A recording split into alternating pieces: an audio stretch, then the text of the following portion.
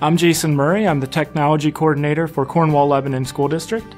It's a school district in Lebanon, Pennsylvania, with about 4,800 students and about 400 employees. With our previous infrastructure and our wireless, we weren't able to get as many devices on the network and connected as we wanted to. So we had to contact or reach out to several vendors, and we found that Morefield picked just the right situation for us. They understood our environment, they understood what we wanted to do and we are looking to improve our infrastructure and also improve our wireless at the same time.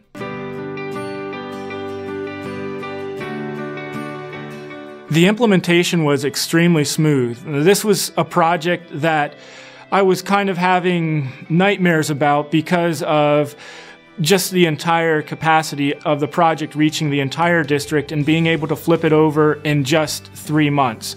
Um, trying to do it during the summer, an entire infrastructure upgrade, an entire wireless upgrade. We put access points in every single classroom, so we put well over 450 access points into our school district. We upgraded our access control servers, we upgraded our wireless controllers, we upgraded and went to Prime with Cisco. Now we're able to get more than enough devices and we have a roadmap on how to increase our client density or the number of devices connecting. I would recommend Morefield for a multitude of reasons.